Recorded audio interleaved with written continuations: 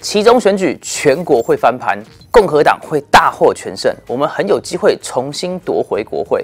这个是所有民意调查、所有的媒体、所有的政治评论节目都说会发生的事。就连左派都认为民主党这次会输得很惨，保守派会重新夺回我们的国会。二零二四我们会重新夺回我们的国家。我某层面上也是这么认为的，但是就跟我之前说的一样。我不敢笃定共和党可以达到我们的要求，因为共和党最厉害的技能就是摧毁自己的基本盘，摧毁自己的能力，打自己的脸，拿刀捅自己，拿枪打自己。保守派最会做的事情就是自相残杀。最近众议院通过了一个保守派的选民很在乎的一个法案，就是民主党提出的 Protect Our Kids Act，保护我们的孩子枪支管理法。其中有十四名共和党的参议员接受了这个八十几页的法案，让这个违宪的法案通过了。众议院也在星期五的时候通过了，彻底的打击了共和党的基层选民。这代表什么呢？我们今天就来聊一聊。我是伊藤欢迎收看今天的 AI News。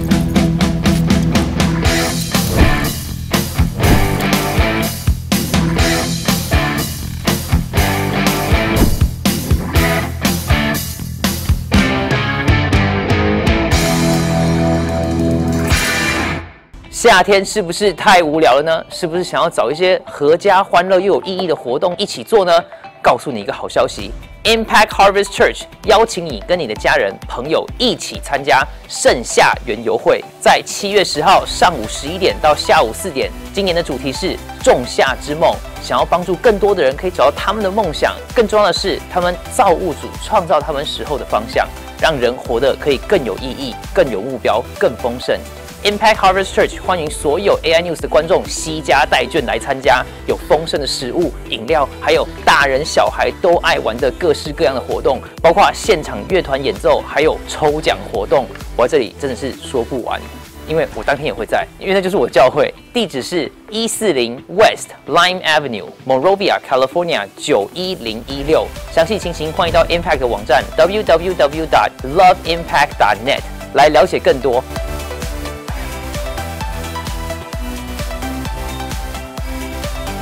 背叛他们的选民，想要跟民主党一起扩大政府、夺取守法公民、保护自己跟自己家人的权利的共和党人有谁呢？德州的 John Cornyn，参议院的少数党领袖 Mitch McConnell，Missouri 的 Roy Blunt，北卡的 Richard Burr，West Virginia 的 Shelley Capital，路易斯安那的 Bill Casby，缅因州的 Susan Collins，爱德华州的 Johnny Ernest。南卡的 Lindsey Graham，阿拉斯加的 Lisa Murkowski，俄亥俄州的 Rob Portman，犹他州的 Mitt Romney，北卡的 Thom Tillis，跟印第安纳州的 Todd Young。这个投票结果最恶心的不是这些人妥协了加入民主党的行列，有的时候他们的确是为了要顾局大局，为了党而妥协加入民主党，特别是在这些。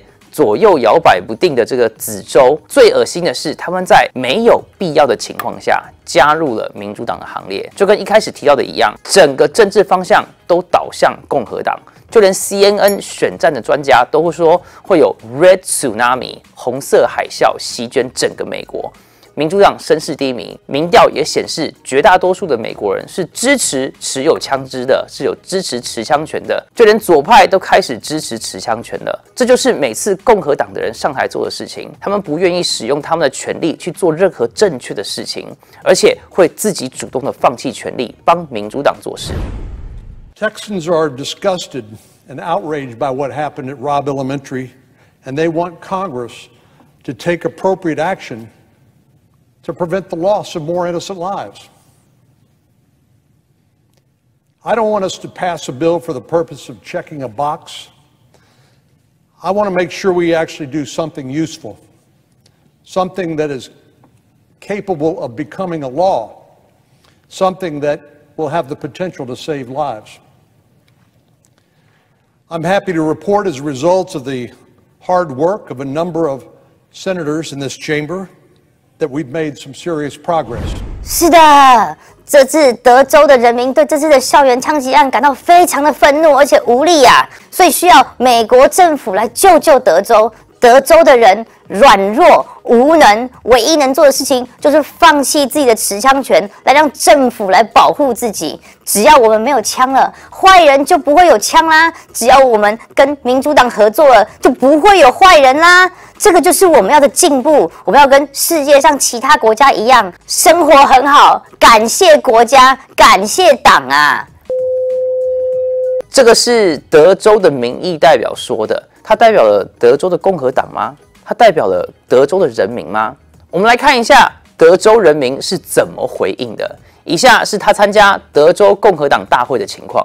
Aren't you glad we're on the side of conservative Republicans like Greg Abbott, Ted Cruz, and Dan Patrick, rather than with those who want to limit freedom, censor speech, and take our guns?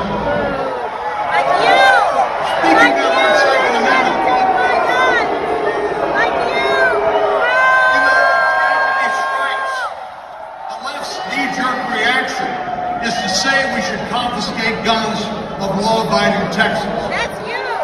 Beto, to his credit, actually said the quiet part out loud. They're coming for your ARs You're and your coming shotguns. for 'em. I mean, they probably would confiscate your air rifle and your BB gun if they could too. You, But here's my guiding principle. Make sure good people have guns and that bad people don't.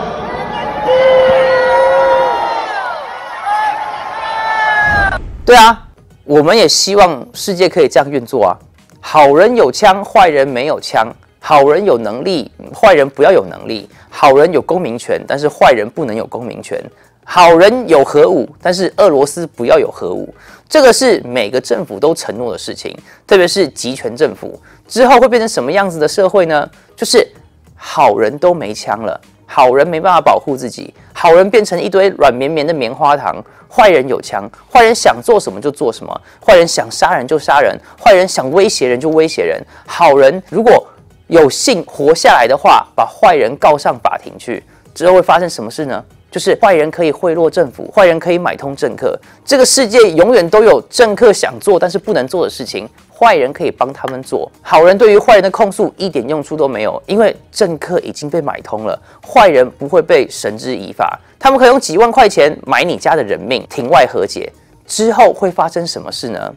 政府会说坏人实在是太过分了，好人一直被打压，所以我们要清除这个社会的坏人，就会发生一堆什么扫黑、扫黄、扫毒、扫这个扫那个，直到政府可以掌控一切之后，连坏人都不存在了，政府就会露出它真正的面貌。原来政府就是那个我们最害怕的坏人，因为之前的坏人全部都参政了。千万要记住，世界上没有一个坏人建立的集中营，没有一个坏人建立的劳改，没有一个坏人的建立的再教育、种族大屠杀、种族清洗，这些东西都是政府做的事情，而且都是在人民没有任何一点反抗能力的时候做的事情。一开始提到的十四个要跟民主党一起建立大政府的叛徒，也是共和党最会做的事情，就是。背叛自己的选民，挖坑给自己跳，最后失去所有的权利给民主党。这整个法案最邪恶的地方是一个叫做红旗法 （Red Flag Law）。这个是什么呢？就是任何人只要跟你有接触，都可以告发你是个恐怖分子。警察不需要经过任何的正当程序就跑来你家，把你家抄了，跟布希时期的 Patriot Act 爱国者法案一样。你想要攻击某个人吗？你只要跟警察说，他是个坏人啊。你投给川普。恐怖分子，你喜欢买枪？恐怖分子，你尊重美国宪法？恐怖分子，你是基督徒？恐怖分子，任何人都可以成为恐怖分子。如果年纪大一点的台湾人就可以知道，当时戒严时期的模样。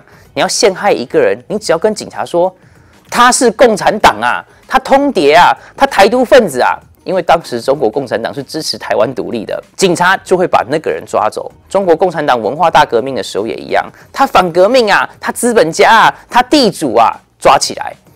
Red Flag Law 就是这个样子的一个法律，跳过正当程序，先抓起来再审的法律，是彻底违法违宪、反人权的法律，是政府使用一个枪击案来夺取你的天赋人权的法案。保护自己的权利是神给我们的，不是政府。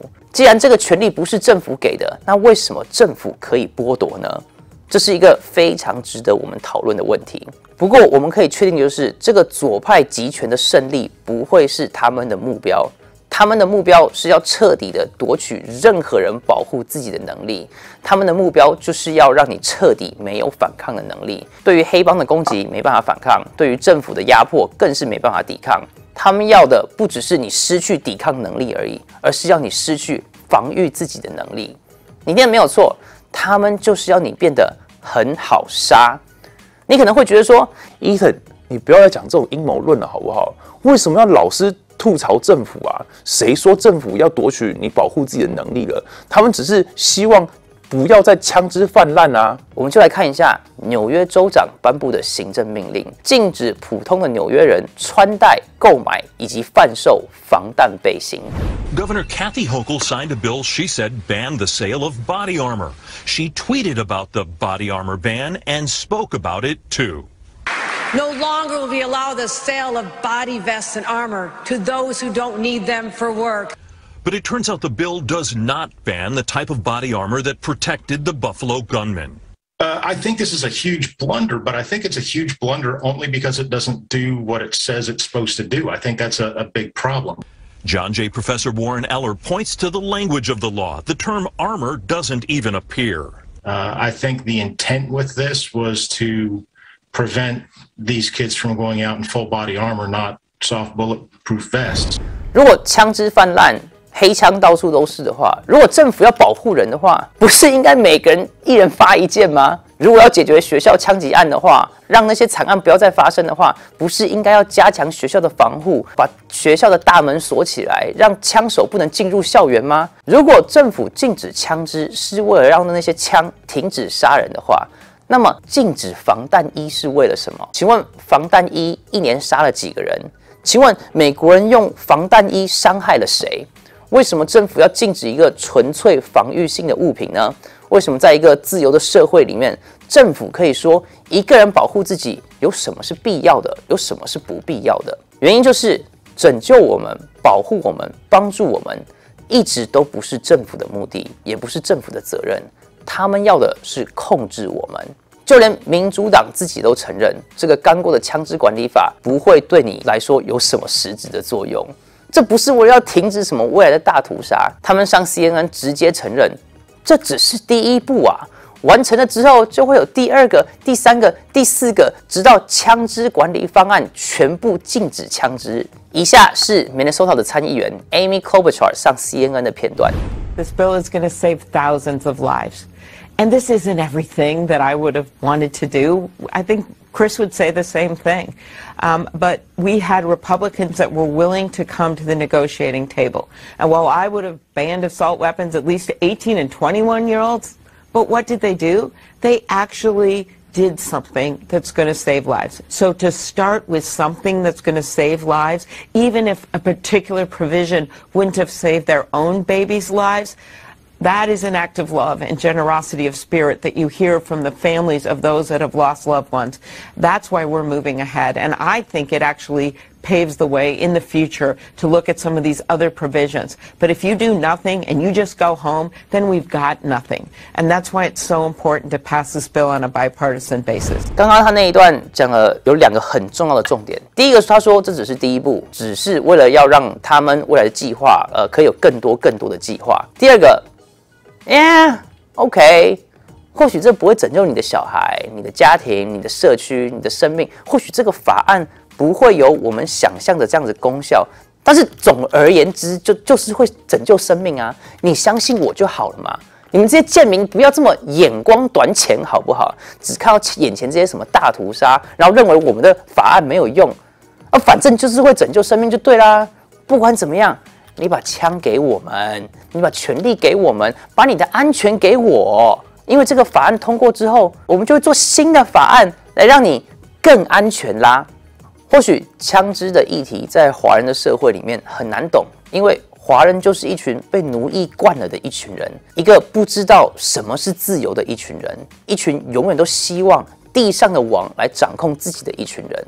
我们就用一个华人比较懂的例子来讲，政府并不是我们的朋友。我们的经济烂到一个不行，惨到一个不行，民怨四起。但是当权者完全不在乎。意思就是，他们认为我们的声音是不值得被听见的，我们不应该抱怨。他们做的事情有多伟大，对不对？为了全球，为了全人类，我们不该对他们的做法有任何的质疑。我们过去几个礼拜也报过好多次，很多政治人物跟左派媒体认为，高昂的油价并不是一件坏事，而是一个可以全面改为电动车的机会。你现在的痛苦是值得的，你活得很惨是应该的，因为未来的大方向是好的。我们二零二零年的时候，各个大城市被烧、威胁、打砸抢，甚至死人，但是未来的方向是好的啊，是为了种族平等啊。你的安全不重要，你的生计不重要，你不应该也没有资格抱怨，因为这一切是为了社会正义必要的牺牲。那么现在油价议题更是升级了，高昂的油价不只是为了拯救地球，更是为了乌克兰。上个星期，拜登非常生气的质问这些说他把经济搞砸的，还有通货膨胀的报表这些人，他问我们说：你们不觉得为了乌克兰，你多付几块钱加油也是值得的吗？For all those Republicans in Congress criticizing me today for high gas prices in America, are you now saying we were wrong to support Ukraine? Are you saying we were wrong to stand up to Putin? Are you saying that we would rather have lower gas prices in America and Putin's iron fist in Europe? I don't believe that. Look, I get the easy politics of the attack. I get that. But the simple truth is, gas prices are up almost $2 a gallon because Vladimir Putin's ruthless attack on Ukraine. And we wouldn't let him get away with it. 呃，是的，我不觉得我应该要为乌克兰做任何事情。Why should I？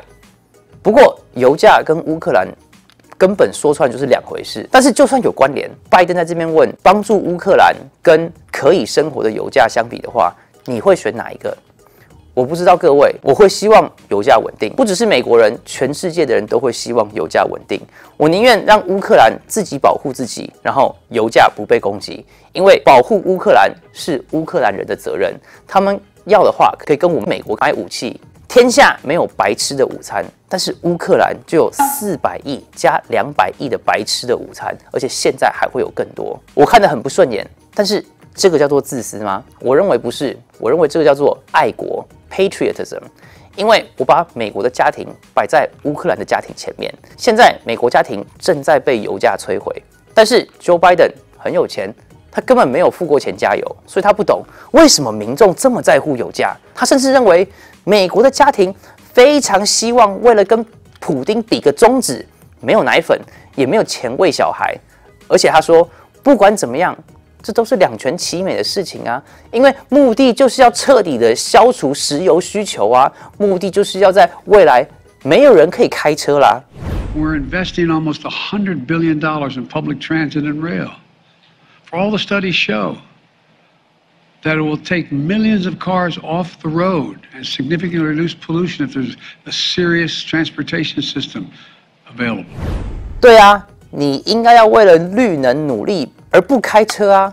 对地球这么好的事情，何乐而不为呢？对不对？对你有什么伤害？你有什么好处？其实你没有过得那么痛苦啊，你们只是反应太夸张而已。不是我说的，你自己听听看。华盛顿邮报 （Washington Post） 的 Michelle Singletary，我们来看一下，他说：“其实你在这边无痛呻吟啦。” It shows 38% of Americans say they would rather see a recession than the inflation that we're dealing with. I mean, I read that to mean more than a third of Americans are so pressed by what they're having to pay for gas, for food, everyday items, rent, that they'd rather see a recession. Is that where we are right now?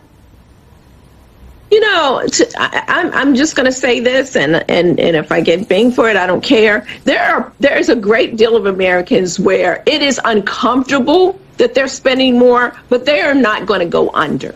You know, you you got to stop complaining when there's so many people who literally the inflation rate means they may only have two meals instead of three. There are Americans who did extremely well in the last two years in the market. You still have your job. And yeah, it's costing you more for gas, but guess what? You're still going to take that holiday, that 4th of July vacation. You can still eat out. So I'm going to need you to calm down and back off because it feeds into this fear and then this fear feeds into people making decisions that creates the very thing that they're fearful of. And if you're in that category calm down.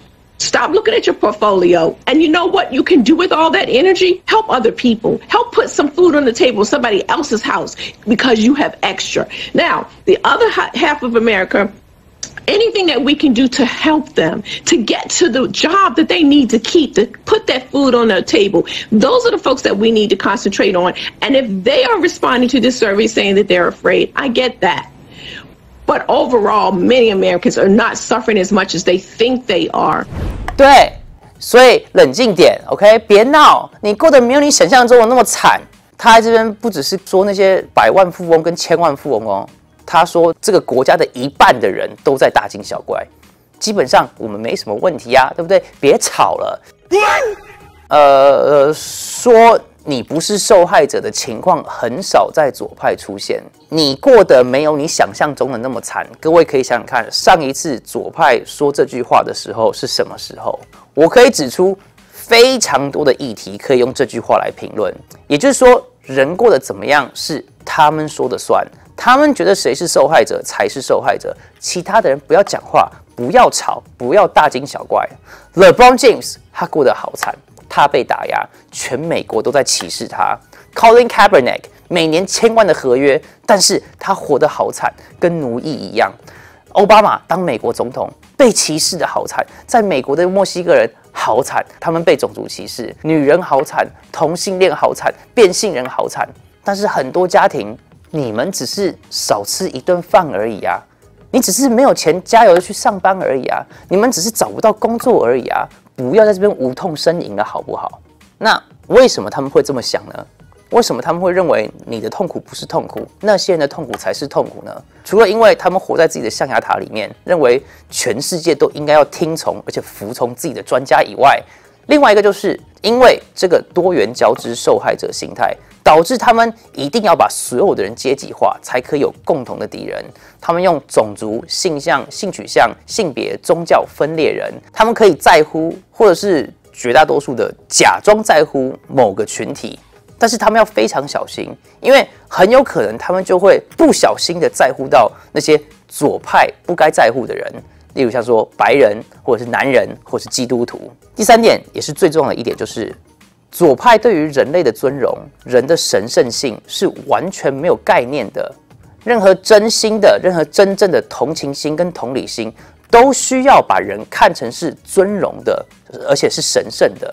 但是对于左派来讲，人类是一文不值的，就连生命的存在都只是个偶然发生的，所以一切都没有对错，都只是个人观点，都只是条件反射。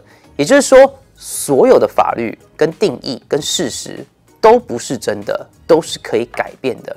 所以他们剩下的就是只为了要证明自己是好人，来聚集民众，来打压他们的政敌而已。这就是为什么他们可以在和平而且没有纷争的时代，创造出各式各样的纷争跟战争，而且说这一切都是为了人类好。但是当事情真正发生了，当人真的受伤害了，当婴儿真的没有奶粉喝了，当普通家庭真的没钱加油了，他们就会说：“闭上你的嘴好吗？”你们过得其实没有那么差，不要大惊小怪在那边靠腰了，好不好？你们现在经历的痛苦，都是为了更好的未来的代价。这就是为什么他们希望我们一点保护自己的能力都没有，甚至想要禁止枪支还有防弹衣，因为他们口中的更好的未来，并不包括我们，不管是民主党还是共和党，不管是左派还是右派，保守派还是自由派。他们就是圣经里面那个人类的王而已，我们就只是奴隶而已。这就是为什么神当初会建议以色列不要有王，这也是为什么我们一定要有能力保护自己。很多人说我是不是在逼着保守派还有基督徒买枪，然后说我在提倡暴力？其实不是的，枪支只是保护你的工具，保护自己的工具。如果你可以保护自己，如果说你家有一个坏人拿着枪出现了，你可以跟柯南一样，地上一颗足球，啪一脚把他踢昏，或是你是螳螂拳第三十二代传人之类的，那么你非常有可能就不需要买枪。但是我没有这么厉害，我不是柯南，也不是螳螂拳第三十二代传人，我只是要用我最能保护我自己跟自己家人的方式，来保护我爱的、值得我守护的那些人。就跟你不会逼所有的人去学螳螂拳一样，我也没有在逼任何人买枪，因为你可能是跟柯南一样厉害的侦探。感谢大家收看，我是伊 n 更多美国情报，请持续关注 AI News。